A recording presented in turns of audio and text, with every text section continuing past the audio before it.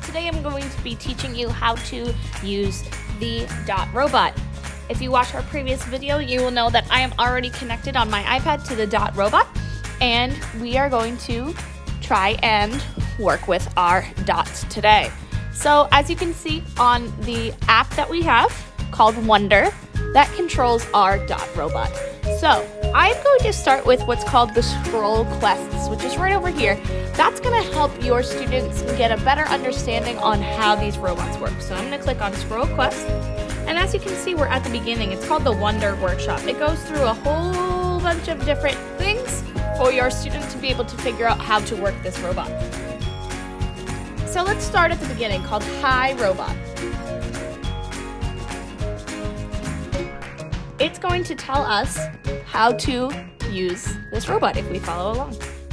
So we can make Dot say hi. If I connect and I hit play. So as you play, as you can play with this scroll quests, it will teach your students how to do different activities with that robot. So let's continue, let's try one more.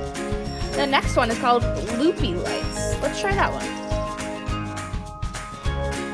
Oh, so Dot likes to dress to impress.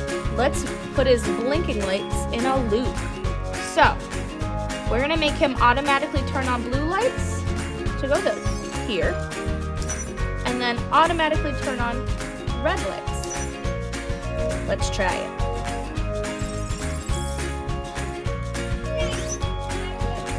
So you can see in our, in our robot as we're practicing, these things will show on the robot how to work those things.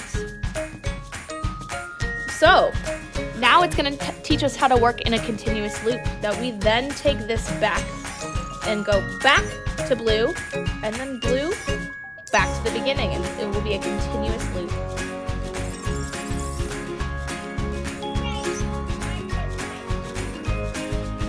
Nice job. So as you can see, our robot's eyes was, were changing color based off of our codings.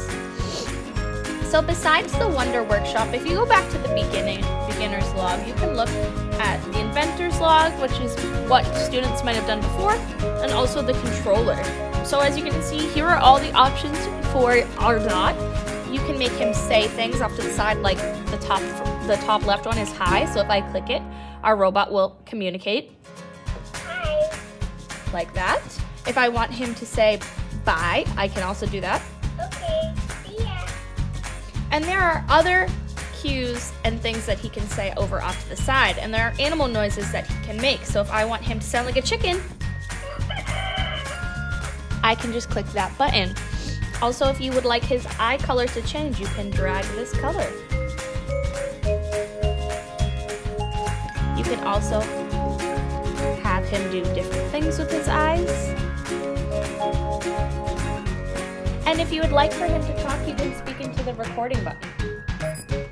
So I can select a slot that I would like to record. I'll go all the way to number 10. And I can record my voice.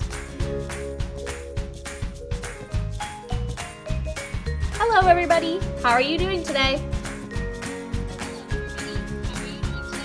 Sounds good to me, so I'm just gonna go ahead and click that green check mark. Gonna load and transfer to our dot robot, and then when I click on number 10, How are you today? dot then speaks as what I recorded, so I can just hit 10, Hello, everybody. How are you doing today? and now dot can communicate with us.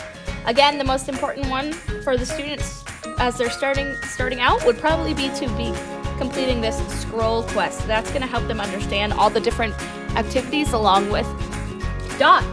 Well, I hope that you enjoyed learning today. I hope that you liked learning about Dot, and I'll see you later.